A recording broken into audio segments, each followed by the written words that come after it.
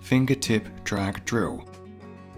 Fingertip drag is a freestyle drill used to promote good arm recovery and a clean hand entry into the water. This drill sees you swimming freestyle, dragging your fingertips on the surface of the water during the arm pull recovery phase.